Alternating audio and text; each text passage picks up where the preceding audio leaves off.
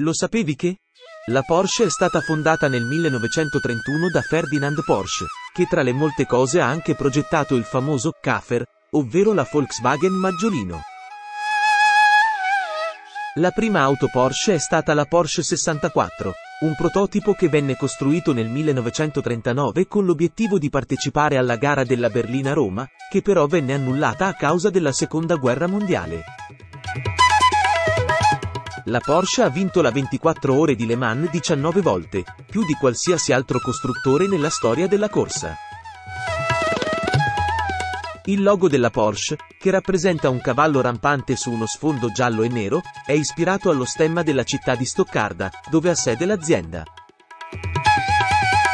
La prima Porsche 911 venne prodotta nel 1964 e da allora è diventata una delle auto sportive più icone al mondo. Nel 1986 Porsche ha introdotto la Porsche 959, considerata una delle auto più innovative e avanzate tecnologicamente della sua epoca. La Porsche ha prodotto anche veicoli fuoristrada, come la Porsche Cayenne e il Porsche Macan. Nel 2019 Porsche ha lanciato la Taycan, la sua prima auto completamente elettrica.